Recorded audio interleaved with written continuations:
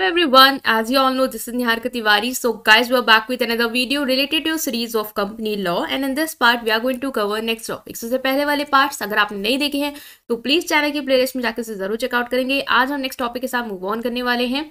So so, please channel को subscribe कर देंगे वीडियो को लाइक कर देंगे और इंस्टाग्राम टेलीग्राम में मुझे ज्वाइन कर सकते हैं। टेलीग्राम ग्रुप है commerce group S W N T right guys so without any further delay let's start this video okay so now guys in this part we are going to discuss this topic that is prospectus ठीक है? ये topic है आपका कि prospectus क्या होता है? उसके अंडरस्टैंड करेंगे कि प्रॉस्पेक्टस ऑफ़ द कंपनी क्या है। ये भी एक डॉक्यूमेंट है, इससे पहले हमने आर्टिकल ऑफ़ एसोसिएशन और मेमोरेंडम ऑफ़ एसोसिएशन जो इंपॉर्टेंट डॉक्यूमेंट है for getting your company registered उसको हमने डिस्कस करा है। आज हम प्रॉस्पेक्टस को डिस्कस करेंगे।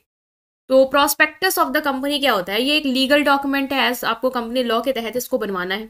ठीक है लीगल लॉ लीगल डॉक्यूमेंट है लॉ के अंदर है। Data company issues to potential investor providing them with information about the company business financial condition management and security such as share and debenture it is offering for sale जैसे आपने prospectus देखा होगा, इसका एक example बहुत easy लेते हैं, जैसे कि आप कभी स्कूल में जाते हैं, ठीक है? किसी भी स्कूल में जाते हैं अपना एडमिशन कराने के लिए तो वो आपको एक अपनी एक आपने देखो ये बुक तरीके की मैगजीन टाइप में कुछ देते हैं, उसमें क्या होता है, पूरा डिटेल होता है उनके स्कूल का कि फ़र्स्ट पेज में उनके अबाउट स्कूल फिर जो मैनेजर उसका ओवरव्यू फिर उनके क्या गोल्स हैं, क्या ऑब्जेक्टिव्स हैं, ठीक है, उनका क्या पूरा इंफ्रास्ट्रक्चर कैसा है क्या क्या आपको फैसिलिटीज़ दे रहे हैं फ़ीस स्ट्रक्चर क्या है, ठीक है, और क्या क्या चीज़ें हैं जो नहीं है, वो सारी चीज़ें वो मेंशन कर देते हैं। बेसिकली नहीं वाली चीज़ें तो रेयर ही हैं बट हाँ वो बेसिक जो चीज़ें हैं, जो हाइप करने वाली चीज़ें जो आपको इंपॉर्टेंट भी लगती हैं, वो चीज़ें उस पूरे प्रोस्पेक्टस में आपको स्कूल के जो एक वो होता है ना, उसमें मेंशन होती है, ताकि आप डिसाइड कर पाओ कि आपको यहाँ पे एडमिशन लेना है या नहीं। उसी तरीके का कंपनी का एक प्रोस्पेक्टस होता है, जो कंपनी के बारे में बताता है, जो भी इन्वेस्टर आ रहा है, मान लो कल को, वो कंपनी की इन्फॉर्मेशन लेना चाहता है कि अगर मैं इसमें इन्वेस्ट करना चाहता हूँ, इसका डिबेंचर या शेयर खरीदना चाहता हूँ तो क्या एक ये कंपनी का क्या स्टेटस है? कंपनी का बिज़नेस कैसा है? इसकी फाइनेंशियल कंडीशन क्या है? कि आपके कितनी अचीवमेंट रही है इसकी? कैसी सिक्योरिटी है? उसमें भी शेयर डिबेंचर में क्या ऑफ़र कर रहे हैं? किस प्राइस पे ऑफ़र कर रहे हैं? लेने से बेनिफिट क्या होगा रिस्क क्या है? वो सारी चीज़ें उस प्रोस्पेक्टस में मेंशन होती है। तो पर्पस क्या है ताकि आप असिस्ट कर पाओ पोटेंशियल इन्वेस्टर को in making an inform decision about whether to invest in the company कि कंपनी में आपको इन्वेस्ट करना है या नहीं करना है, इसके बारे में जो आपको डिसीज़न लेना है, उसमें ये हेल्प करता है इन्वेस्टर को कि आप इन्वेस्ट करो या ना करो, पहले देख लो, समझ लो कंपनी के बारे में कंपनी के ओवरव्यू के बारे में, उसके टीम के बारे में सिक्योरिटीज जो वो दे रहा है बेसिक सिक्योरिटीज वाला ज़्यादा क्वेश्चन टाइप होता है यूज़ ऑफ़ प्रोसीड किस तरीके से उनका प्रोसेस है प्रोसेस है इसको ऑफ़र करने का या जो भी है। और बाकी जो भी आपको लगता है कंटेंट आपके लिए इंपॉर्टेंट है डिसीज़न लेने के लिए, वो सारी चीज़ें आप यहाँ पे देख सकते हो। ठीक है? तो ये था बेसिक आपका कि प्रोस्पेक्टस क्या होता है। नेक्स्ट आता है आपका कि, और डिटेल में समझेंगे कि प्रोस्पेक्टस में क्या क्या चीज़ें हैं। सबसे पहले कंटेंट ऑफ़ द प्रोस्पेक्टस क्या है? प्रोस्पेक्टस में कौन कौन सी इन्फॉर्मेशन आएँगी? सबसे पहले कंपनी का हिस्ट्री क्या रही है, कैसे बना है, ये सब चीज़। ऑब्जेक्टिव क्यों बनी है? फाइनेंशियल स्टेटमेंट अचीवमेंट रही है फाइनेंशियल मैटर में रिस्क फैक्टर क्या है, अगर आप इसमें इन्वेस्ट कर रहे हो, क्या रिस्क आपको फेस करने पड़ सकते हैं? कौन सी सिक्योरिटीज दे रहा है उसकी इन्फॉर्मेशन मैनेजमेंट टीम की इन्फॉर्मेशन ये सारी चीज़ें एक डिटेल में इन्फॉर्मेशन आपको प्रोस्पेक्टस में देखने को मिल जाती है। The level of detail required depend on the nature of securities being offered and the regulatory requirement of the jurisdiction. मतलब जो लॉ कह रहा है कि भाई ये चीज़ आपको मेंशन करनी है वो चीज़ आपको प्रोस्पेक्टस को देख, देखने में मिलेगी। नेक्स्ट जो भी आपको पूरी डिटेल देगा कि कौन कौन सी सिक्योरिटीज दे रहा है ठीक है? उसके बारे में इंफॉर्मेशन तो ये हो गया। नेक्स्ट है अप्रूवल और registration in marriage registration the prospectus must be approve by regularities authority before it can be issue to the public मतलब पब्लिक को इशू करने से पहले ज़रूरी है कि जो भी प्रोस्पेक्टस कंपनी ने बनाया है वो जो अथॉरिटी है जो उसको देखेंगी ठीक है अप्रूव करेंगी, उनको वो दिखाया जाए, उनको उनसे वो अप्रूव कराया जाए। फिर ही आप पब्लिक को ये प्रोस्पेक्टस क्या करो पब्लिश करो, उनको दिखाओ। The regulatory body ensure that prospectus contain all the necessary information अब आप रेगुलेटरी अथॉरिटी को क्यों ज़रूरी है कंपनी को प्रोस्पेक्टस को बनाने के बाद उसको दिखाना, उससे अप्रूव कराना देन पब्लिक को देना? इसीलिए भाई, क्योंकि वो देखेगी कि आपने जो नेसेसरी इन्फॉर्मेशन एक लॉग एंडर है, ये ये चीज़ें आपको मेंशन करनी है फाइनेंशियल स्टेटमेंट करनी है, ऐसा ना हो कि भाई आप रिस्क स्किप कर रहे हो कि नहीं रिस्क तो नहीं बताएँगे, वरना फिर वो लेगा नहीं। तो वो चीज़ें वो देखेगी वेरीफाई करेगी कि आपने ऐसा इन्फॉर्मेशन जो है वो इंक्लूड किया है या नहीं किया है। और कहीं कोई ऐसी इन्फॉर्मेशन तो ये नहीं है जो मिसलीडिंग हो मतलब वो आप गलत प्रेजेंट कर रहे हैं अपनी ऑडियंस को। तो वो देखेगा, उसके बाद वो अप्रूव जब कर देगा, तब आप क्या करोगे प्रोस्पेक्टस को पब्लिक को दिखा सकते हो। ठीक है?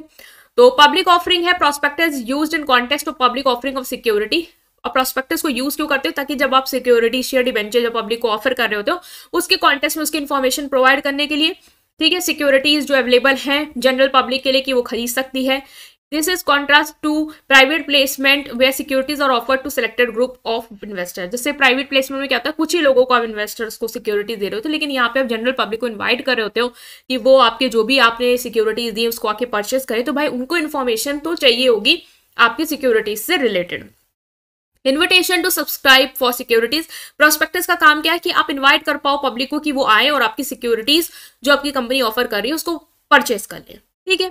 तो ये है कि भाई क्यों है? कंटेंट है इसमें मतलब क्या क्या चीज़ें हैं प्रोस्पेक्टस तो यही है कि प्रोस्पेक्टस का में क्या क्या होना चाहिए। अप्रूवल ज़रूरी है, फिर पब्लिक को ऑफ़र कर रहे हो सिक्योरिटी इसलिए लोगों को इनवाइट करते हो उसके through liabilities for misstatement the information provided in the prospectus must be accurate not misleading भाई जो इन्फॉर्मेशन आप प्रोस्पेक्टस में दे रहे हो, वो एग्जैक्टली exactly सही होनी चाहिए, कोई भी चीज़ें मिसलीडिंग नहीं होनी चाहिए। मतलब कोई भी ऐसी चीज़ ना हो कि जो आप गलत बता रहे हो। If there are ma uh, material misstatement or omission in the prospectus that result in investor loss, the company and its officer may be held legally liable. मतलब कि अगर आपके prospectus में गलत है स्टेटमेंट या फिर जो चीज़ आपको लिखनी थी वो आपने नहीं लिखी है उसको ओमिट कर दिया उसको आपने स्किप कर दिया जिसकी वजह से अगर कोई इन्वेस्टर ने आपकी सिक्योरिटी परचेज की और उसको उस वजह से लॉस हुआ है क्योंकि आपने वो चीज़ें गलत बताई हैं या फिर जो चीज़ बतानी थी वो नहीं बताई है। उस केस में वो जो कंपनी है और उसकी जो भी मैनेजमेंट टीम है या जो ऑफिसर्स हैं, उनको लीगली मतलब लॉ के तहत क्या करा जाएगा, उसका जिम्मेदार ठहराया जाएगा। Investor have a right to rely on the information disclose in the prospector investor को जो भी इन्फॉर्मेशन आप डिस्क्लोज करते हैं प्रोस्पेक्टस पे, वो उस पर क्या कर सकता है रिलाई कर सकता है। अगर आपने उस पर गलत दिया है तो आपके ऊपर जो भी है, जो भी एक्शंस हैं, वो लिए जाएँगे। Period of validity the prospectus is typically valid for a specific period after which it may need to be updated और री इशूड अब ऐसा नहीं एक बार प्रोस्पेक्टस बना दिया तो आजीवन वो चलता ही रहेगा। एक टाइम पीरियड होता है, उसी तक आपका जो प्रोस्पेक्टस है, वो क्या होता है? वैलिड होता है।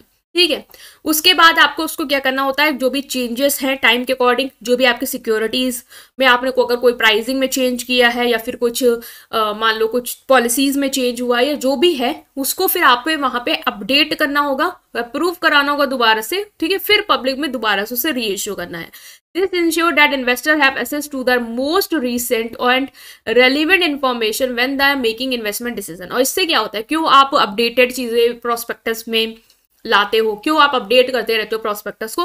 ताकि जो रीसेंट में, जो अभी एग्जैक्टली exactly चल रहा है आपके कंपनी में, वो इन्वेस्टर को पता चल पाए। जो भी रेलिवेंट इन्फॉर्मेशन है, जो उसको हेल्प करेगी कि इन्वेस्टमेंट डिसीज़न लेने में, कि उसको सिक्योरिटीज में इन्वेस्ट करना है नहीं करना है, उसको खरीदनी है आपकी कंपनी की सिक्योरिटी या नहीं, वो डिसीज़न वो ले पाएगा on the basis of updated information ठीक है? तो ये है आपका बेसिक की प्रोस्पेक्टस क्या होता है? इसमें आप मीनिंग लिख के आ सकते हो। इतना तो समझ पाए लीगल डॉक्यूमेंट जो कंपनी के बारे में कंपनी की कंडीशन कंपनी की फाइनेंशियल सिक्योरिटीज इन सारी चीज़ों के बारे में बताता है, जो कंपनी एक सिक्योरिटी ऑफ़र कर रही होती है इन्वेस्टर को, उसके बारे में बताते हैं, ताकि इन्वेस्टर डिसीज़न ले पाए कि उसको इस कंपनी में इन्वेस्ट करना चाहिए या नहीं करना चाहिए? इसको खरीदने चाहिए शेयर डिवेंचर या नहीं खरीदने चाहिए? तो पूरा चीज़ें है कि क्या क्या होना चाहिए अप्रूवल लेना है आपको ज़रूरी है पब्लिक को ऑफ़र करने का मेन पर्पस है प्रोस्पेक्टस शुरू करना, क्योंकि जब भी आप पब्लिक को अलाउ कर रहे हो कि वो आए आपकी सिक्योरिटीज़ खरीदें ठीक है? तो आपको उसके बारे में बताना भी होगा कि प्रोस्पेक्टस में क्या है सिक्योरिटी किस तरीके की है रिस्क है कि नहीं है, कितना रिस्क है, क्या इनको रिटर्न मिलेगा, वो सब चीज़ें आप उन्हें मेंशन करोगे। नेक्स्ट है, अगर कुछ गलत लिखते हो प्रोस्पेक्टस में तो उसके लिए आप जिम्मेदार भी ठहराए जाओगे और प्रोस्पेक्टस ऐसा नहीं कि आजीवन तक वैलिड है। एक टाइम पीरियड तक वैलिड है, उसके बाद आपको उसको अपडेट और इशू करते रहना चाहिए, ताकि जो रिसेंट इन्फॉर्मेशन है, जो रेलिवेंट इन्फॉर्मेशन है, वो इन्वेस्टर को मिल पाए। तो हमने यहाँ पे इसको डिस्कस किया आई होप आप समझ पाए स्टिल कोई भी डाउट है कमेंट सेक्शन में पूछेंगे वीडियो को लाइक करेंगे चैनल को सब्सक्राइब करेंगे और अपने फ्रेंड के साथ इस वीडियो को ज़रूर शेयर करेंगे। Thank you